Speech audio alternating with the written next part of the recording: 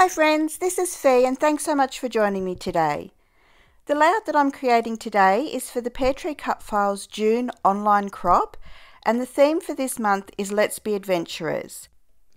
The layout that I've created is for challenge 2 and this challenge is for you to use arrows on your layout. To join in with this challenge, you just need to create a layout using arrows and upload it onto the relevant album on the Pear Tree Cut Files Facebook group by 10pm BST on Sunday the 26th of June. In addition to this challenge, you'll find another three challenges for this crop that will be presented in the Facebook group by Heather, Jessica and Terry.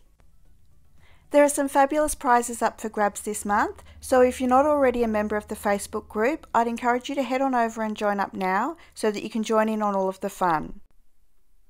I'll leave you with some music now while I finish off my layout.